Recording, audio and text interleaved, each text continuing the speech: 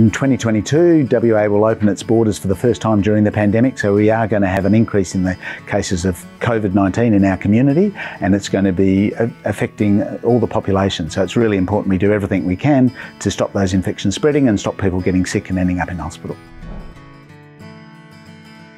It's clear that boosters are important to improve your immunity for long-term protection against COVID, but particularly against variants.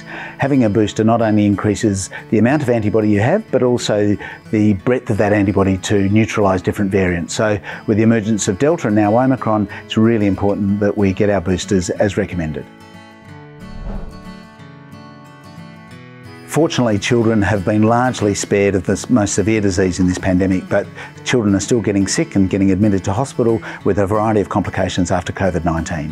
In WA, we will be seeing community transmission. They will be one of the groups that will be most vulnerable to getting infected in the first place, spreading the virus around to family members and other children, uh, but also being at risk for more severe complications, which fortunately are rare but still will occur. So I, I think the best thing that parents can do is go to their GP or their local clinic and get their children vaccinated.